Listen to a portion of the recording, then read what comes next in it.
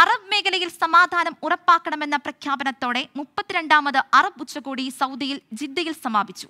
Arab മേഖലയെ സംഘർഷഭൂമിയാക്കി മാറ്റാൻ അനുവദിക്കില്ലെന്ന് സൗദി കിരീടാവകാശി മുഹമ്മദ് ബിൻ സൽമാൻ രാജകുമാരൻ പറഞ്ഞു. പന്ത്രണ്ട് വർഷങ്ങൾക്ക് ശേഷം Syrian president Bashar al Assad ഉച്ചകോടിയിൽ പങ്കെടുത്തു. അറബ് മേഖലയിൽ സമാധാനം ഉറപ്പുവരുത്താൻ കൈകോർക്കുമെന്ന പ്രതിജ്ഞയുമായാണ് മുപ്പത്തിരണ്ടാമത് അറബ് ഉച്ചകോടി ജിദ്ദയിൽ സമാപിച്ചത്. ഏകദിന ഉച്ചകോടിയിൽ സിറിയ സുഡാൻ ഫലസ്തീൻ പ്രശ്നങ്ങൾ ചർച്ച ചെയ്തു. ഇരുപത്തിരണ്ടംഗ അറബ് ലീഗിന്റെ അധ്യക്ഷസ്ഥാനം അൾജീരിയൻ പ്രധാനമന്ത്രി ഐമൻ ബിൻ അബ്ദുറഹ്മാനിൽ നിന്നും സൗദി കിരീടാവകാശി മുഹമ്മദ് ബിൻ സൽമാൻ രാജകുമാരൻ ഏറ്റെടുത്തു. അറബ് മേഖലയെ സംഘർഷഭൂമിയാക്കി മാറ്റാൻ അനുവദിക്കില്ലെന്ന് അറബ് ലീഗിന്റെ അധ്യക്ഷസ്ഥാനം ഏറ്റെടുത്തുകൊണ്ട് സംസാരിച്ച മുഹമ്മദ് ബിൻ സൽമാൻ രാജകുമാരൻ പറഞ്ഞു.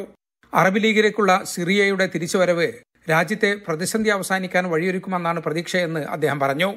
ഫലസ്തീൻ ജനതയ്ക്കുള്ള പിന്തുണ ആവർത്തിച്ച മുഹമ്മദ് ബിൻ സൽമാൻ രാജകുമാരൻ ആയിരത്തി തൊള്ളായിരത്തി അറുപത്തിയേഴിലെ അതിർത്തി പ്രകാരം സ്വതന്ത്ര ഫലസ്തീൻ അനുവദിക്കണമെന്നും കിഴക്കൻ ജെറൂസലമിനെ തലസ്ഥാനമായി അംഗീകരിക്കണമെന്നും ആവശ്യപ്പെട്ടു.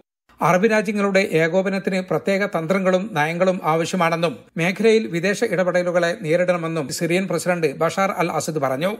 പന്ത്രണ്ട് വർഷത്തിന് ശേഷമാണ് സിറിയ അറബ് ഉച്ചകോടിയിൽ പങ്കെടുക്കുന്നത്. ഉക്രൈൻ പ്രസിഡന്റ് വ്ളാദിമിർ സെലൻസ്കിയാണ് ഉച്ചകോടിയിലെ വിശിഷ്ടാതിഥി.